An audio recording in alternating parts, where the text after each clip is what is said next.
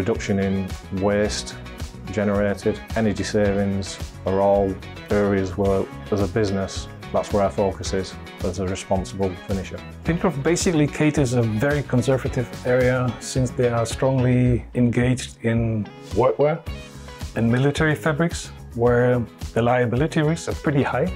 The quality compliance needs are also extremely high. Nevertheless, they are always open to innovation. We predominantly work in the workwear sector and the military sector, but we do have a range of other services that we provide, from dyeing, printing, preparation, FR treatments, and also down to uh, fluorocarbon finish.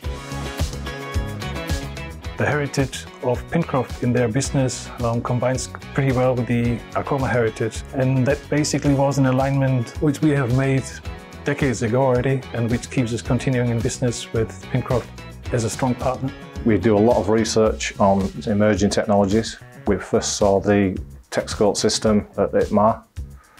We had discussions with the company and began some development work to prove the technology and compare it to conventional techniques.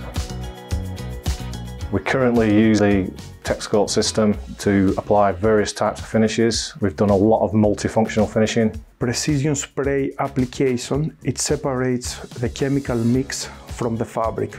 With the TexCoat you can apply your chemicals in a lower amount of pickup. That means less water on the fabric, needs less energy to dry and cure your material which will help you to improve your productivity and at the same time you can save about 50% of water, chemical and energy. Pincroft is known for seeking out the latest technology and the evaluation of the TexCoat application were not different. From our point of view, the, the combination of the process and know-how that Baldwin is able to provide, but the chemical know-how that we can bring into the talks and the capability to adapt both, making it a winning solution for our customers.